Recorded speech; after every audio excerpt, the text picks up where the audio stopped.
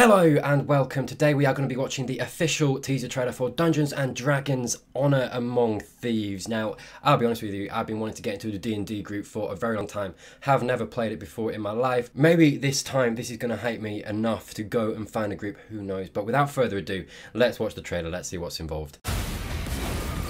No, no, I don't want to see. I don't want to see. I hate these smash cuts, man. I don't like it. Okay, good. We're a team of thieves. Oh, Hiya. Is it just me, or has Chris Pine got like a really modern look? Oh. Do you know what I mean? I don't know if he like totally works automatically in like fantasy settings. Like his face, I don't know. He's a beautiful man. Like, don't get me wrong, right? But like, very modern. Oh, hello, mate. It's got dragons in it.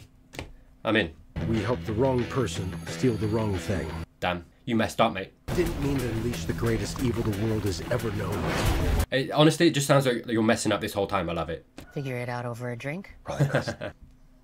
We also need courage, magic, Nice. Hello.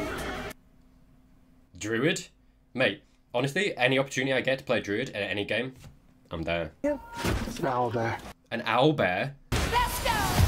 But whatever happens, Like, just make Chris Pine a little greasier, do you know what I mean? He's too clean cut. It's not his fault. What is it exactly that you bring to this? I'm a planner. I make plans. You've already made the plan, so if the existing plan fails, I make a new plan.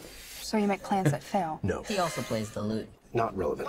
Important though. Oh, he's a bard then, yeah? Hey man, look, again, I haven't played D&D. It's a character flaw. It is. It's a character flaw, I admit it. D&D pros, uh, get down in my comments. How do you feel about this? Is this like good for you? Like me, from coming from a completely uh, void D&D background, this looks like a fun film, honestly. Like, you know, it's got a, it's got fantasy in it, it's got dragons, it's got like, you know, people making plans, it's got owlbears, man. Honestly, that sold it for me. That sold it for me. But what did you think? Let me know down in the comments below. Like, sub, all that good stuff. There's a video right here that YouTube says you'll like, so click on it, mate. Click on it. Thank you to my patrons as always, and I will see you next time.